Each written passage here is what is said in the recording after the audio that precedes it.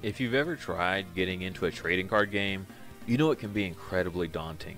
From the large financial investment of the serious meta level players, down to the casual player only able to get a few packs at a time. Either way you look at it, it can still be incredibly challenging. So I'll be pushing my skills and a bit of luck to their absolute limit to make the best deck I can. The goal is that by the end of one year, I will be able to top one of the largest tournaments in the TCG. The catch? The catch is I must do this on a mere $20 a week budget. But not only this, also I cannot trade or buy singles, only sealed product. The only exception being for each match I win, I can make a single trade for a single card from a box opened right here on the channel. If you want to take part in the series in either a remote duel match or have a box opened here on the channel and potentially a trade conducted, then head on over to my Patreon and become a member to gain permanent access to my personal Discord server. This is Digimon on a budget.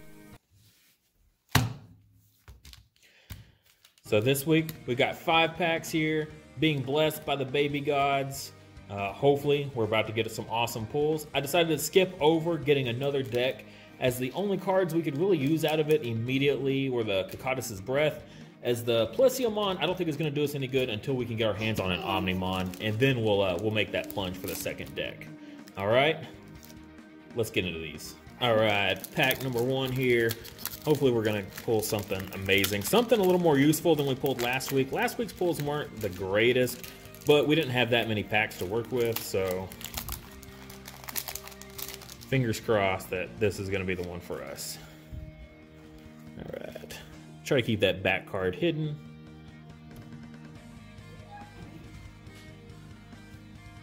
Okay. Where's all our blues at? Don't tell me it's gonna be another week with no blues.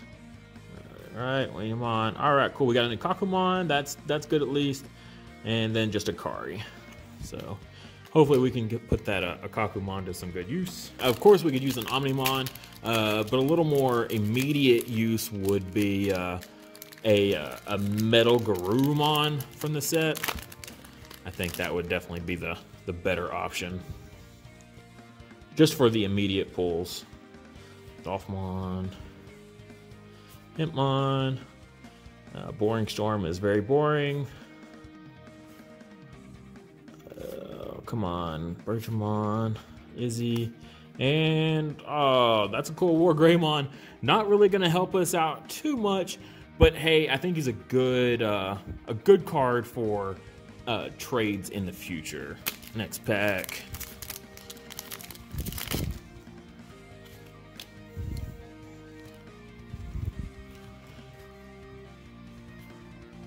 Oh, Volcanic Dramon, definitely a good uh, utility card to have, so that'll probably go in the deck pretty soon. Just to kill all those rookies.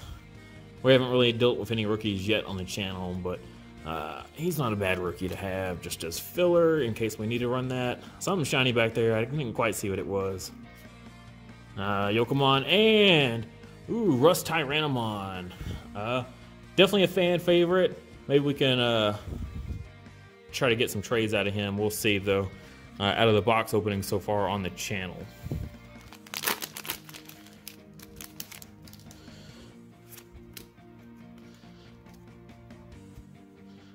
Alright, great Tornado. Uh, purple, Garurumon. No. Pumpkinmon. Wow, is that another shiny back there? Really hard to kind of keep it hidden. Slash Angemon. Uh, Mon Mon Mon. Uh, I'm not really overly a fan of him. I mean, he's a a rookie blocker, but I don't like paying memory for my rookies. Uh, I like those as my like free draws, so probably won't use him. Hyandramon, another Ikkakumon, and we pulled an Omnimon! Yeah! Baby Luck has done it again, and uh, that's awesome. That'll go straight into the deck. That is a huge pull. Oh man, I am so excited for that. This is going to help the deck tremendously. We need to get a few more of these, but hey, this is on the path, uh, the right path at least. So huge pull right there. And uh, hey, I mean, those are pretty good odds considering the first packs that we opened on the channel weren't really that great. Uh, so far, out of four packs, we've pulled three super rares, one being an Omnimon, which is awesome. One pack to go.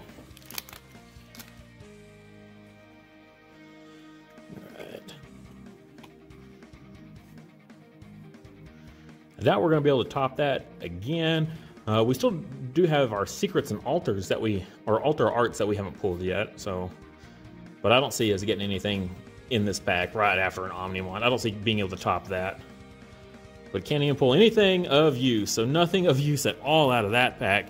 But hey, I mean that's just kind of how the breaks are, right? You can't get something out of every pack, especially when you know you pull the best card in the set.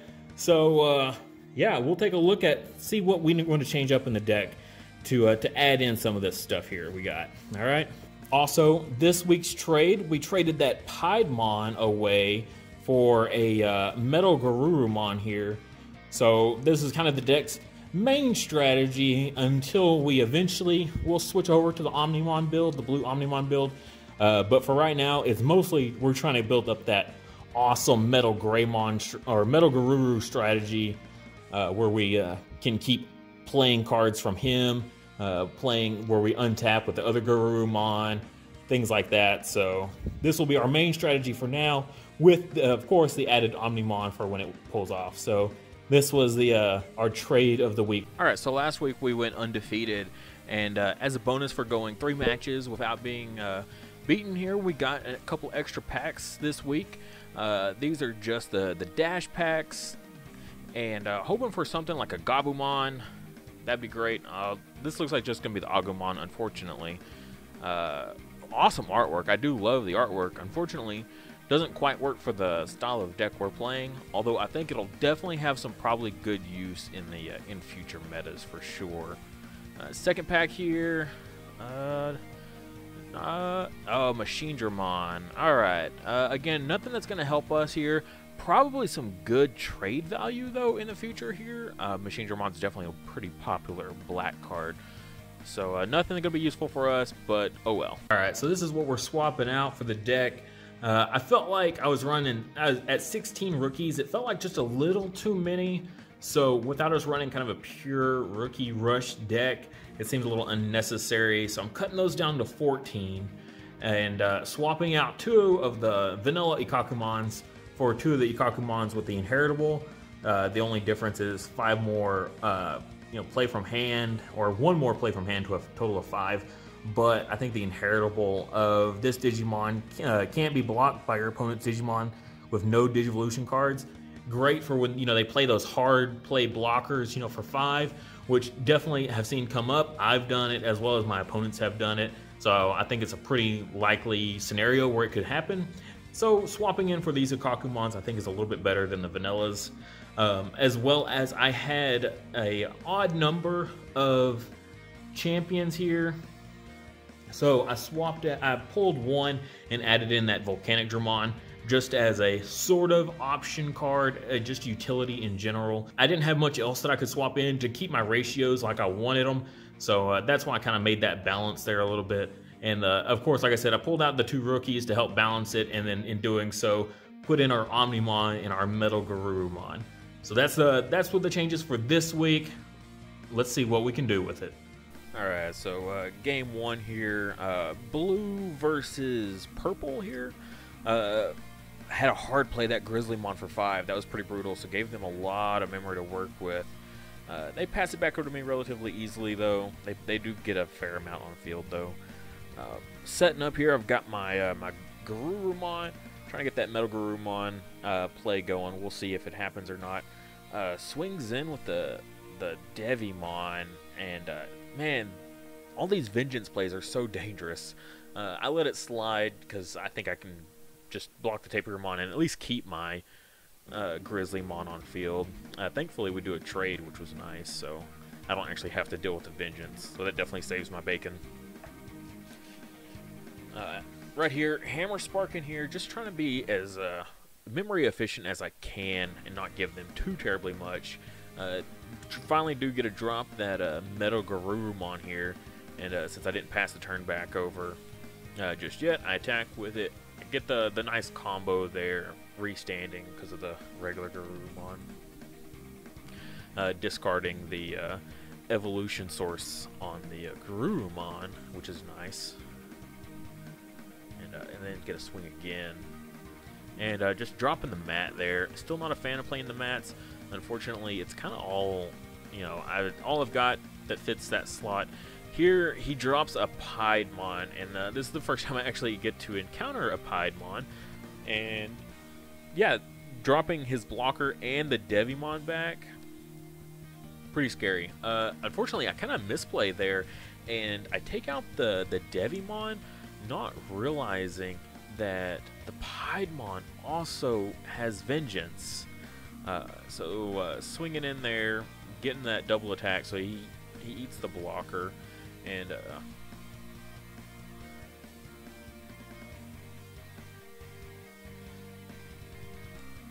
and uh, so not a whole lot of plays left there. Swing again and uh, drop the uh, Leomon.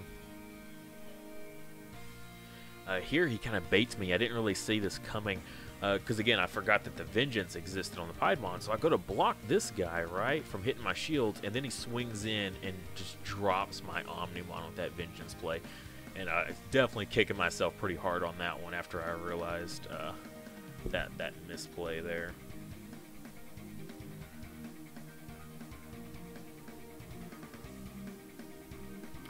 Uh, then he eats two of them I think that was also kind of a misplay on his part. He probably should have played that first before I blocked, um, just to get a little bit more value out of it, I think. Uh, dropping my Metal Garurumon again. So uh, hoping I can get a good play out. He drops a second Piedmon. This Piedmon is putting in some serious work here. Uh, again, dropping the blocker and the, uh, the, the Devimon he could have dropped double blocker, which would have been pretty painful too, but I think the smarter play was definitely getting that Devimon. Uh, so I end up dropping this Volcanic Dramon just because I do not want to deal with that again. Uh, gives him a lot of memory to work with uh, in turn there, but at least I should be able to push for game next round as long as he doesn't play another blocker.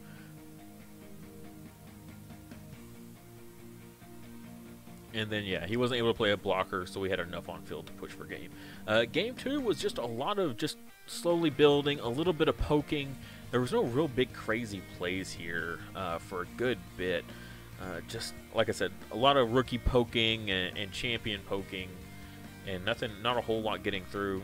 Uh, here, this was pretty brutal. He attacks, gets me to play my blocker, and uh, again, dropping two of uh, my blocker and then one of my rookies there. So, you know, that two for one trade. I guess it's kind of a two for two because he does have to activate an option, but yeah, it's still uh, pretty brutal.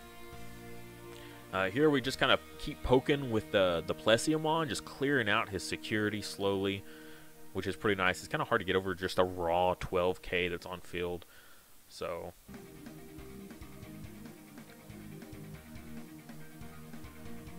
And here, not trying to give them a whole lot of memory to work with, but get trying to get that draw factor, and then they just weren't able to come back.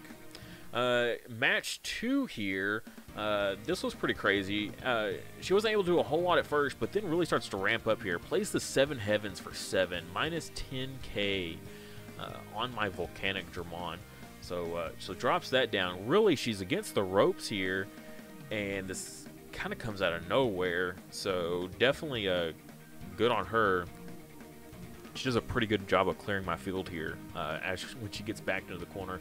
Uh, plays the Heaven's Charm as well, which drops 2k off of uh, a Digimon, puts it on my uh, Metal Garurumon, and then is able to swing over it. Uh, drops mine down to, to 9k there. So uh, that was pretty great on her part. And at this point, she has no shields left, so she's just trying to clear what she can she knows that she's gonna get that one that's gonna come through no matter what from that Garurumon. She can't stop it. She doesn't have a blocker to, to stop it. So she's just trying to poke, see what she could do, and, and hope for the best there. Has to pass turn and give me all that memory. Three, and then the plus one from the mat. So at this point, I can just push for game. Uh, game two here, uh, really slow. Like not a whole lot was happening, but I just like walked right up into my Metal Garurumon. Uh, never got really much of a chance to attack. I know I didn't want to waste it because I had the Omnimon as well in my hand. Uh, I kind of don't think it was quite necessary to play it here. Uh, I know she could have evolved up into something a little more scary, but I don't think it was too much to worry about. Uh, here it plays that Angelomon, gets the, the security back. She, I think she's definitely probably the, the best. I believe that's a level 5. Uh, what is that, the ultimate? Probably the best ultimate for yellow. Uh, and then also plays the Slash Angemon, which is also a great card. Uh, drops. Oh, what did what does she drop? Oh yeah, she drops it onto the Grizzlymon, which clears the Grizzlymon with this Slash Angemon effects. Then evolves into the Seraphimon, who when attacking lowers one by 4k. Swings into the Kakumon, and uh, what does she uh, lower? Was it the Volcanic Dramon that she lowered by 4,000? Right, swings into uh, uh, swings into stack there, but then the uh, the Digivolution sources put the 4K on Seraphimon from Seraphimon onto the the Ikaku, and then the slash Angemon dropped it by another 1,000, which killed the Ikkakumon. So, uh, pretty awesome combo there, really. So here she's setting up a, a really strong board. Uh, I've got no security left. I've got no uh, defense here at all. Uh, I'm definitely sweating. Ends up just playing a tamer to pass the turn, and uh, and then she realized after the fact that she had in hand a card that reduces my security to minus three, so I couldn't have attacked with the Omnimon. Uh, I still could have attacked with my two rookies. However, I did in my head kind of misplay here. Uh, I should have raised the Gomamon. If I hadn't raised the Gomamon and she had played that, then uh, she would have definitely taken that and we would have had to go to game three. So that game two was super close there. Uh, just a couple like very minute things that could have changed the changed things. Uh, match three here uh, again, just kind of building up into uh, our little basic towers here and uh, I just start swinging like crazy with this Metal Garurumon. He's got a security attack plus one, and he attacks twice, so that's four security we just cleared through.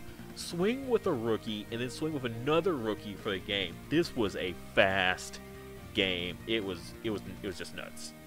Uh, game two here, uh, same thing. We, we really ramp up into our big towers really fast. Uh, I dropped the Zudomon just because I know how terrifying that War Greymon can be. So I don't want uh, it having all that security attack. So I at least take one security bonus off of it with the Zudomon. And uh, knowing I can't really do much else, I'm just start poking as fast as I can with this Plesiomon, and uh, and then just go right up into another one. So trying to do as much as I can, as fast as I can, uh, because I know this War Greymon's about to start tearing through me. And, uh, and there he goes. While the the security uh, attack bonuses, uh, even swings with the uh, the Agumon rookie there.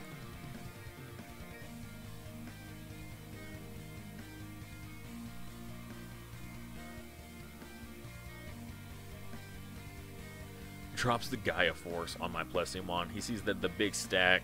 Uh, he probably feels the uh, the Omnimon coming. Although I don't think at this point uh, he realizes I'm even running an Omnimon yet. So, uh, but yeah, he saw that big stack and was pretty scared of it, so took it out with the, the Gaia Force, even for that big big memory cost. Uh, I realized that I had to kill his poor uh, Agumon with my Plesiomon just because he could have gamed me next turn. Uh, there he attacks in the stack with the War Greymon, revealing the Omnimon. Uh, kind of lackluster when it gets revealed like that, but then attacks for game with the uh, the blocker.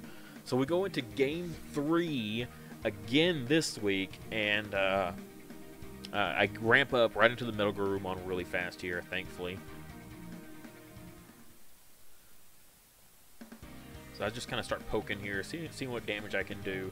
Uh, I see that he's got kind of starting to build up a thicker board, so uh, I need to either start getting in some some damage to make him play a little more defensively, or find a way to slow him down a bit. So I drop this uh, Grizzlymon for five, uh, putting him at three. Not a whole, not a crazy amount to work with, but but enough. Uh, saving my Grizzlymon for that other Greymon because I don't want that uh, that big thick stack of uh, uh, inheritables underneath a War Greymon potentially. So I try to keep all of that down as much as possible. So he realizes that too. He doesn't want to lose his War Greymon. Uh, again, I start poking, and again this week, uh, Gaia Force in the stack takes out my boss. Uh, passes back to me here. I've got kind of a thicker field. Uh, so do they, and uh, and he starts really kind of just working through me here. I'm uh, a little bit worried. Uh, trading when possible out of security is always nice. Passes back to me. Not a whole lot to work with here, so I, I just go really blocker heavy. Gaia forces one of my blockers because he's that desperate. Thankfully, it passes it back to me. And uh, here, uh, I'm pretty sure I can take game, but I'm gonna. He gave me all that memory to work with, so I definitely want to use it uh, to be as safe as possible here. Go into the Weregarurumon, which gives me the Ikkakumon inheritable, so he can't block me with his blocker, which is nice. So I can just get a straight swing uh, on this, just in case it's something that I need to keep my Weregarurumon for next turn. Uh, but it's not, and uh, he's going to block it, and then we attack for game to him uh, with the, the same trick that he used against us, and take it with the, with the blocker for the win. Alright, so our series challenges here is uh, not only are we trying to top that uh, national level event, you know, COVID, you know, allowing, but in addition to that, we've got some win streaks here to help us along. First week, let us get that uh, that three win streak there, which allowed us for that bonus pack, uh, which was the uh, the dash packs. It wasn't anything too crazy, uh, but that one's knocked out. Uh, this week, we managed to get the six win streak already, which is pretty crazy. So that'll allow us to get a bonus trade in this week, and uh, hopefully we can uh, get something extra good that'll help us along and and finish off our deck a little bit more. And hopefully, week three, we'll be able to take that win streak of nine pretty crazy to imagine. We've had a lot of close games here lately, especially against those War Greymon, the, the kind of red rush strategies. They're just so aggressive. They can play so fast that it's just hard to react in time. Uh, hopefully, we can hold out against uh, players like that. We'll just have to wait and see. Also, for every like these videos get for the uh, the time that it's up between videos, uh, we add all those likes together, and then we add that much uh, that many cents total to our budget for the week. And again, this is accumulating, so even if we don't spend all of the budget that week, it'll continue to add up. Thank you guys so much for watching. If you enjoyed this video, please support the channel in any way you can. Just liking the video or subscribing is a huge, huge help. And if you really want to support the channel, consider checking out my Patreon. There's a link in the description below for it. You can get access to my Discord server as well as some other cool incentives. Also, check out my official merch store. There's a link in the description below for my Teespring account. You get access to all my uh, cool merch that I've got on there, as well as some other cool stuff, cool phone cases, that sort of thing. But like I said, any kind of support is always appreciated. Just simply liking the video can go a very, very long way for me. So thank you guys so much for watching, and I'll see you next time.